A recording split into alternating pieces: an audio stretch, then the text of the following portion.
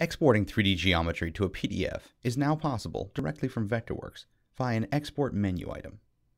This allows you to share all or a selected portion of your model with anyone, even if they aren't familiar with CAD software or don't have a software package on hand. All they'll need is Adobe Reader or Bluebeam Review, and they'll be able to view your model themselves, whether they run Mac or Windows. Visible design layers in your document will be visible to the viewer, and they'll be able to turn them on and off at will to focus on certain portions of your document. You can also choose to export your file's saved views, which will give the viewer some guidance in where to look if they're not familiar with layer structures.